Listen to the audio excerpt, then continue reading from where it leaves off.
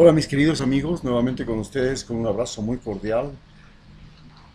Esta vez hablaremos sobre las diferencias fundamentales de los gobiernos de Donald Trump y de Lenin Moreno. ¿Cuáles son las características de la personalidad y cómo los dos manejan lo que se denomina la coherencia?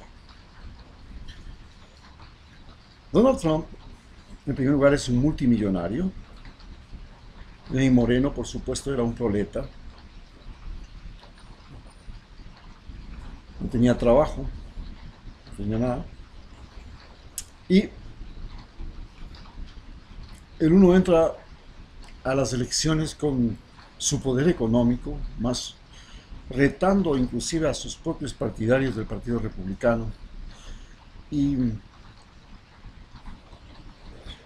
el hecho fundamental que lo lleva a ser el presidente de los Estados Unidos es lo que podríamos llamarle su coherencia, su franqueza y hasta cierto punto su brutalidad, pero en el sentido de su rudeza, ¿no? Su rudeza. ¿Por qué? Porque Obama, el presidente anterior, era un presidente negro pero vivía como blanco, parecía blanco, actuaba como blanco. No tenía una identificación real con su grupo étnico. Segundo, Obama era un individuo que no hacía lo que decía. Por ejemplo, recibió el Premio Nobel de la Paz porque prometía retirar las fuerzas militares de Afganistán, liberar los precios presos de, Cuba, etcétera, y otras cosas más, como no ingresar en otras guerras, como se dicen allá, guerras tribales, guerras religiosas que se daban en el mundo. Pero no cumplió con eso. Finalmente, no sacó los hombres de, Vietnam, de, de Afganistán, no terminó con los presos políticos de Guantánamo, no sacó, no intervino en las guerras de Libia y de Siria. Luego, su identidad, se pensoñaba que Obama iba a cambiar la situación de los negros en Estados Unidos, el país con más presos negros del mundo. Resulta que no hizo, no pasó nada. Siguen siendo los negros la mayor cantidad de presos habló de una relación amable con los países latinoamericanos, pero secretamente empezó la construcción de la gran muralla que quiere separar ahora México de Estados Unidos. Es decir, era un individuo que no tenía coherencia entre lo que decía y lo que hacía.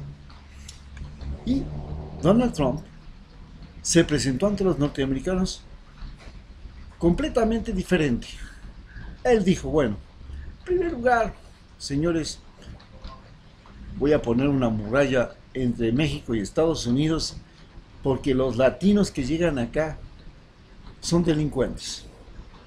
Justifico así una visión racista, una región xenófoba y ha cumplido, está construyendo su muralla.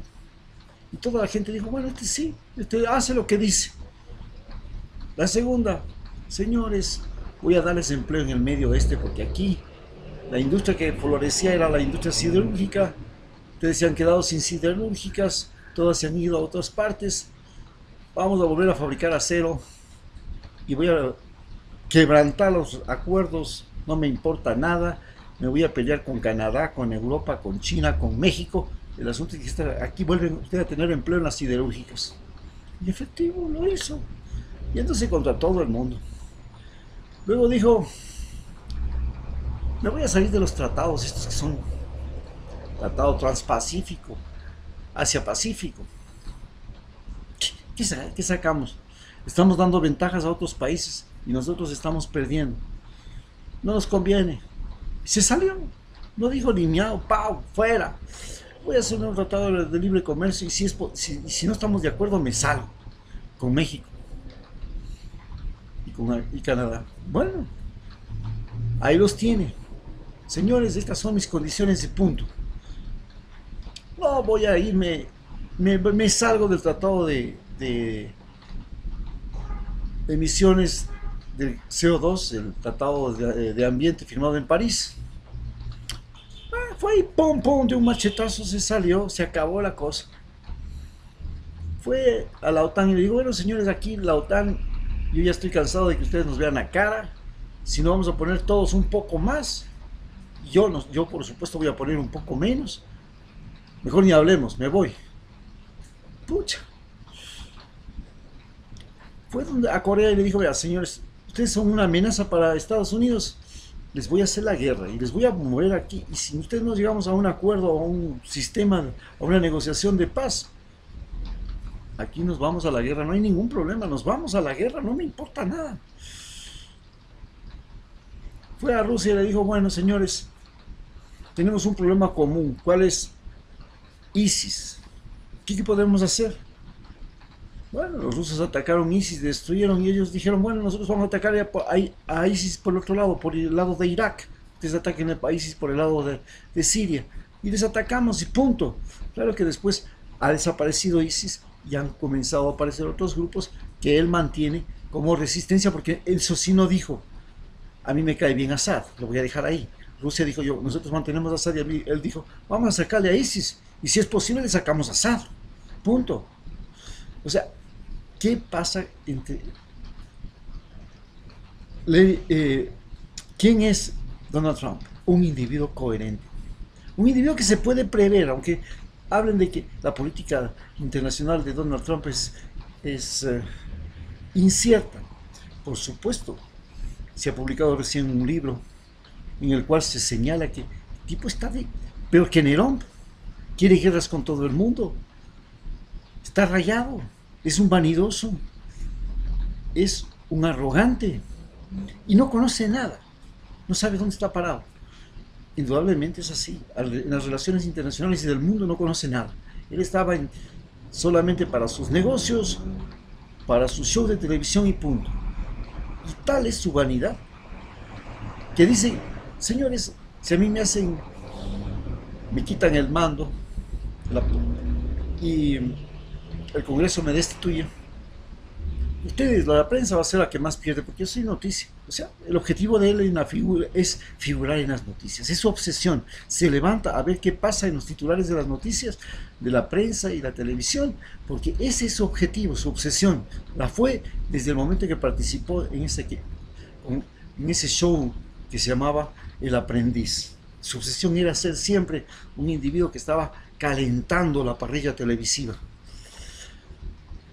Entonces, tenemos un individuo casi, se puede decir, coherente con su manera de ser. ¿Qué pasa con Lenin Moreno? Lenin Moreno es un individuo absolutamente incoherente. Llega al poder primero engañando. Señores, soy de Alianza País. Creo que el presidente Rafael Correa es el mejor presidente del mundo y el mejor presidente que ha tenido el Ecuador y lo dice públicamente, a voz, sacando pecho. Llega con el apoyo de Rafael Correa y cuando ya llega al poco tiempo, ni al mes, comienza a decir vela verde. Habla completamente todo lo contrario que decía antes de la campaña. Si él se hubiera presentado a las elecciones diciendo, señores, yo estuve con el partido Alianza País y vi algo que no me gustó. Y como no me gusta eso, me voy con mi propio partido o con cualquier otro. ¿Quién quiere que yo sea presidente? ¿Quién quiere acompañarme de vicepresidente? Pero yo no quiero volver con Alianza País. Y hacía, y lo hacía así, y ganaba, posiblemente ganaba las, las elecciones porque decía, yo conocí por dentro los males de Alianza País y son unos traidores, unos pícaros que finalmente él fue un traidor y todos los de Alianza País fueron traidores excepto 20 asambleístas y tres dirigentes o cuatro dirigentes que todavía diga siguen luchando y poniéndose, eh, mostrando el pecho a las balas. El resto se cambió, se mudó, porque así es la política, es el juego sucio. En la política no es, lo importante no es hacer lo correcto, lo importante es hacer lo conveniente. Es el principio fundamental de la política. Después de eso, mientras Donald Trump ha conseguido que la economía norteamericana esté bollando, Lenin Moreno ha colocado al país entre las tres economías más decepcionantes de Sudamérica, de América Latina, de acuerdo a la BBC. Luego, ofreció casas, no ha cumplido. Ofreció institutos tecnológicos, no ha cumplido. Ha metido la excusa de que no ha tenido suficiente dinero. Correa, en el 2006, cuando cogió, cogió un país en la última, pero en la última, en la última desgracia. Y luego, en el 2016, cuando tuvo el terremoto, la subida del precio del dólar, y Occidental reclamó más de mil millones de dólares al Ecuador, estando en crisis. Nada de eso lo intimidó y dejó un país en crecimiento económico. Hoy tenemos ya un año, un año de deflación. Un año de deflación. Y este año de deflación es algo temible. ¿Por qué? Porque los precios, hay incertidumbre en los precios. No se sabe si los precios van a seguir bajando, bajando, bajando, bajando. Pero la gente entonces no invierte, no compra, no hace nada. Sin embargo, por ejemplo, ofreció ayudar a la agricultura y a los pobres. La Corporación Financiera Nacional ha sacado la semana pasada con mucho orgullo las estadísticas de que ha superado el 78% de préstamos con respecto a los años anteriores. ¿Sí? Pero ¿a quién presta la plata? Pues la plata suya y la plata mía. A los que tienen más de 100 mil dólares anuales de ingresos. Eso quiere decir que todo el dinero del Ecuador fue a parar en los ricos. Y no solamente que eso, hizo eso. Él decía que era pobre, que había sido de la izquierda, que eh, es revolucionario. La revolución ciudadana, la revolución de los...